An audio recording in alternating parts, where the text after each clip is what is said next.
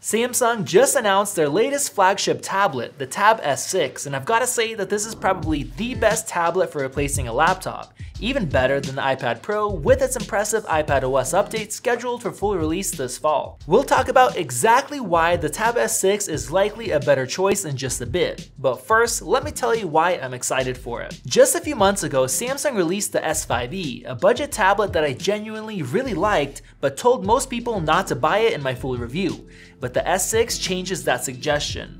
I love how thin and lightweight the S5e is, the loud quad speakers, and on top of that, the gorgeous AMOLED 16x10 display, which is great for media consumption. With that said, there were a few big downsides that made it hard to recommend. The first was the Snapdragon 670 CPU, which is mediocre for today's standards and really worrisome if you want to keep it for a few years. Paired with a mid-range CPU is a weak GPU, which made gaming a very poor experience, and lastly, there was no pen support, which is a deal breaker for some people. Well, the new S6 fixed all of those things, giving us pen support like the previous Tab S4 and a CPU that can handle everything you throw at it. They've made some physical changes as well, like removing the side-mounted fingerprint scanner, opting for an optical under-display scanner.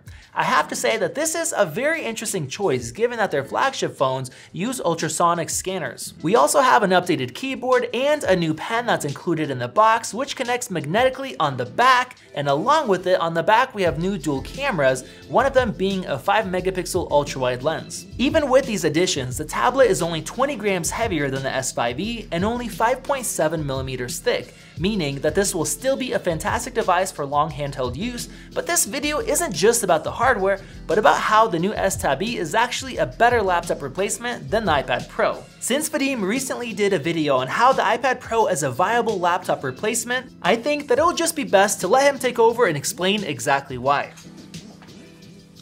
The most important thing that can make the Tab S6 a better laptop replacement than the iPad Pro is a pretty amazing feature called Samsung DeX. It's basically an operating system that's instantly accessible from an app.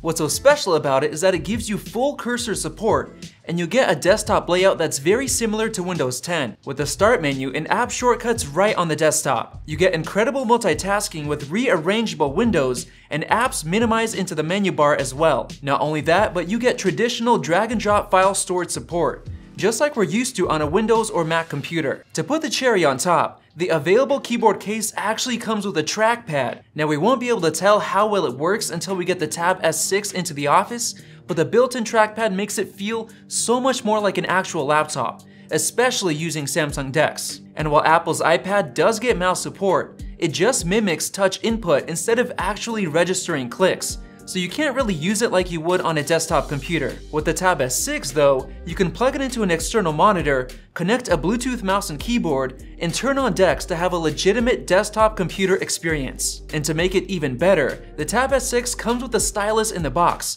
unlike the Apple Pencil, which you have to purchase separately for $130. The best part is that the 256GB storage model only costs $729, and it comes with 8GB of RAM, compared to the iPad Pro's 4 gigs of RAM. And if you buy the keyboard case before September 22nd, you can get it for half off.